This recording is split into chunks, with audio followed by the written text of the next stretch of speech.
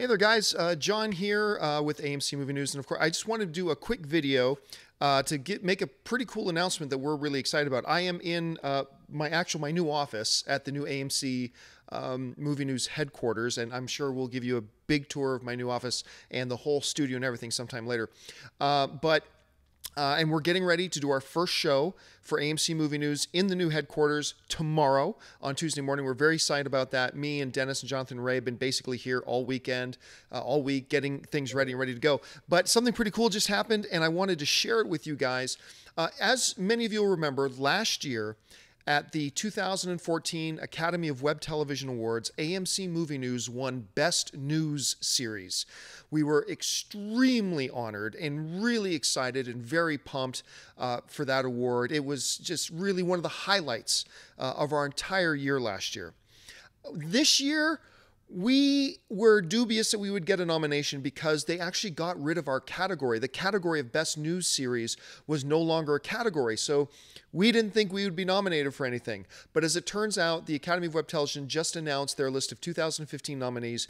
And we at AMC Movie News were actually nominated for three separate awards.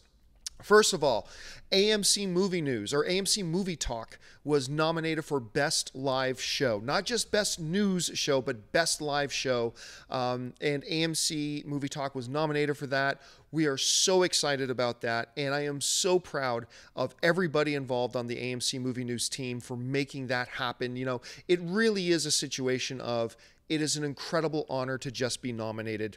I don't think we have a chance in hell of winning this award, but you know, it was just crazy that we got nominated for that. And again, to everybody on our team and all of you guys, our AMC Movie News uh, viewers and participants, and the sons and daughters of AMC, all you guys out there, thank you so much for your support and helping us get this nomination. Uh, as it turns out, though, we also got two other nominations. We were nominated for Best uh, Show Host Not Live, um, and uh, I was nominated for Best Show Host.